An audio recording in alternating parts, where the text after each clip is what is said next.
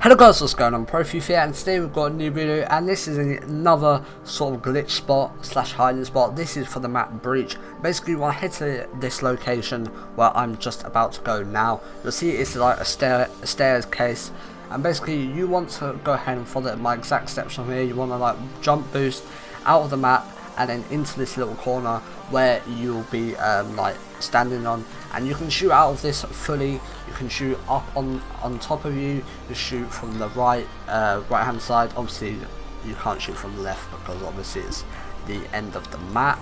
But you can like throw stuff and out of the map as well. And it's pretty cool um, like hiding spots too. Because if you're not really to look on the floor on the stairs so it's a pretty good like hiding spot to do and you can get a couple of kills from you know killing people from there. But this is pretty much the end of the video guys. Just like to say thank you for watching. Please do subscribe if you're new around. It does help the channel a lot. And I'll see you guys in the next video